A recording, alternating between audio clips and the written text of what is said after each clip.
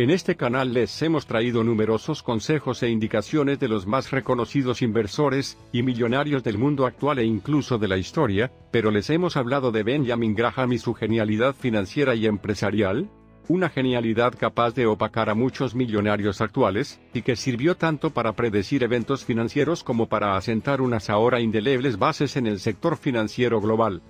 Pues no se preocupe, hoy hoy le traemos lo mejor de Benjamin Graham y sus enseñanzas sobre inversión. Pero primero que nada debemos aclarar, ¿quién es Benjamin Graham? Benjamin Graham fue uno de los más grandes pensadores prácticos de inversión de todos los tiempos. Después de que su madre viuda perdió todo su dinero en la crisis financiera de 1907, su familia cayó en la pobreza. Sin embargo, Graham le dio la vuelta a esto. Estudió en la Universidad de Columbia y pasó a trabajar en Wall Street, pasando de empleado a analista y socio antes de dirigir su propia sociedad de inversión. En consecuencia, acumuló una gran cantidad de conocimiento histórico y psicológico sobre los mercados financieros, que abarcó varias décadas. Y compartió ese conocimiento en su libro, The Intelligent Investor.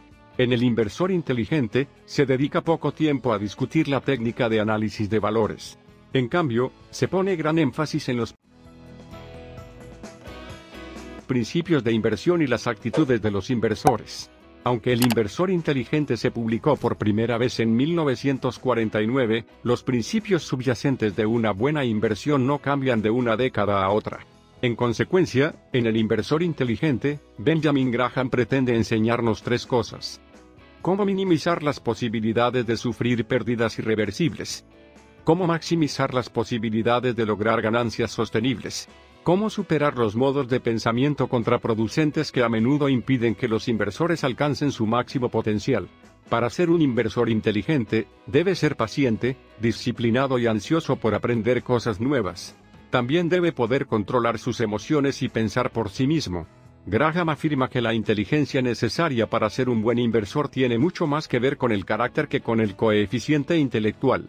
A lo largo de este resumen de El inversor inteligente, exploraremos algunas de las conclusiones clave de la inversión, y la fórmula de Benjamin Graham para una inversión inteligente y exitosa. Graham desea marcar una diferencia importante entre inversores y especuladores, es decir, corredores de Wall Street. Según Graham, la inversión inteligente consta de tres cosas. Un análisis exhaustivo de una empresa y la solidez de sus prácticas comerciales antes de la compra de cualquiera de sus acciones. Asegurarse de estar protegido contra pérdidas graves. No aspirar a resultados extraordinarios, sino aspirar a un rendimiento adecuado.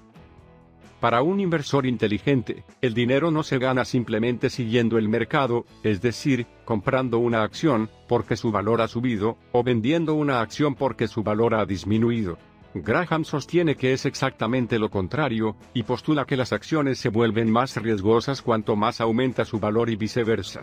Mientras que un inversionista cree que el precio de mercado es juzgado por estándares de valor establecidos, un especulador basa todos sus estándares de valor en el precio de mercado, que es una diferencia significativa. Una excelente manera de comprobar si el mercado está influyendo en sus juicios de valor es preguntarse si estaría feliz de invertir en una acción en particular si no pudiera conocer su precio de mercado. De esa manera, debes confiar en tu intuición, por esta razón, es vital señalar que, a diferencia del especulador, el inversor inteligente no invierte para obtener ganancias rápidas. La única forma de alcanzar los objetivos de inversión a largo plazo es tomar decisiones sostenibles y fiables que no estén sujetas a los caprichos del mercado de valores. Inversión e inflación. Para comprender la inflación, debemos observar cómo ha fluctuado a lo largo del tiempo. Cuando se cuenta con los datos históricos, es evidente que, si bien las tasas de interés oscilan, la tendencia general es que el interés generalmente aumenta con el tiempo. Sin embargo, pronosticar cómo será la tasa de interés en el futuro es arriesgado. Nunca podemos saber con certeza cuál será la cifra en el futuro, pero podría valer la pena considerar las tasas de interés de los 20 años anteriores, y usarlas como trampolín para pronosticar lo que podría ser probable en el futuro. Sin embargo, el hecho de que el futuro sea incierto no significa que debamos invertir todas nuestras inversiones en bonos o acciones simplemente por el atractivo de su tasa de interés actual. Cuanto más un inversor comienza a depender de los ingresos obtenidos de su cartera, mayor es su necesidad de protegerse de lo inesperado. Esto significa invertir en un margen más amplio tanto de bonos como de acciones. Desde que se publicó por primera vez el inversor inteligente, han aparecido dos opciones de inversión adicionales que protegen a los inversores de los riesgos de inflación. Estos son. Número 1.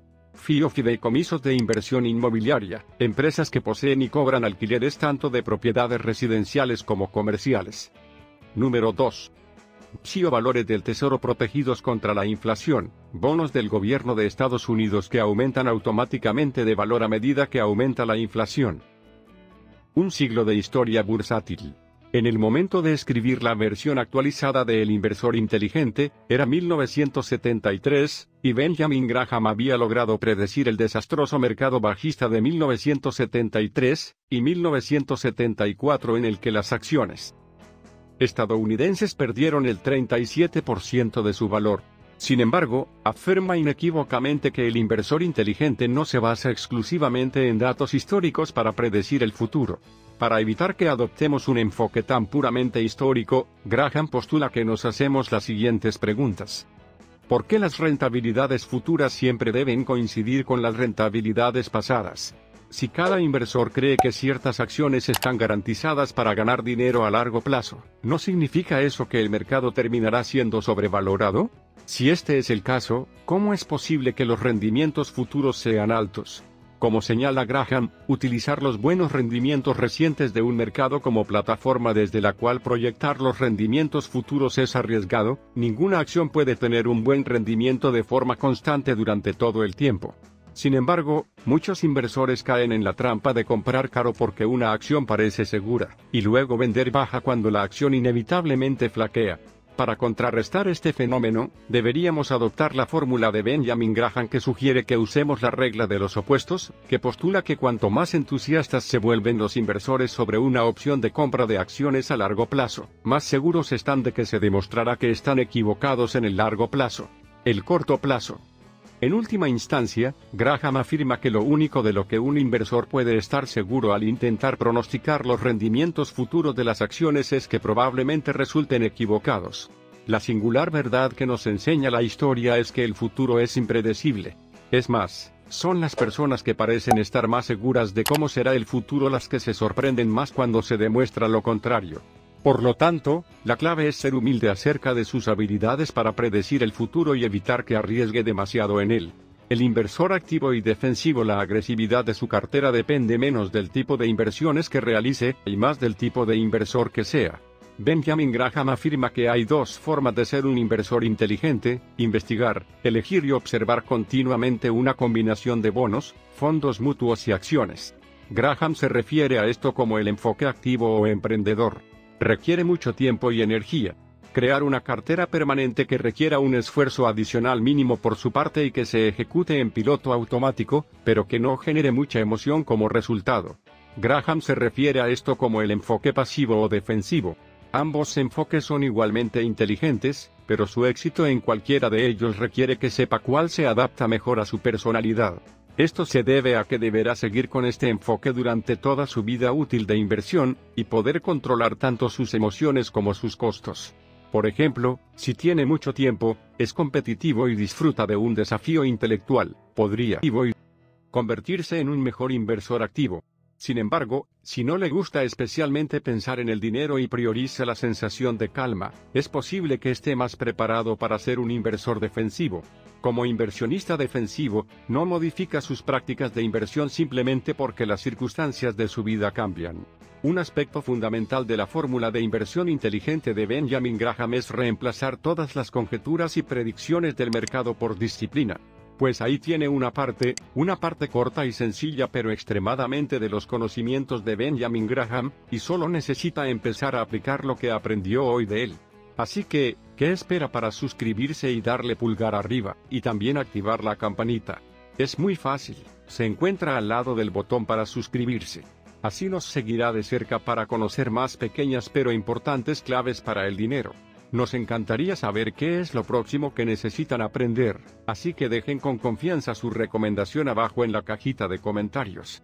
Muchas gracias por haber llegado hasta aquí. Esperamos volver a verlos en un nuevo vídeo.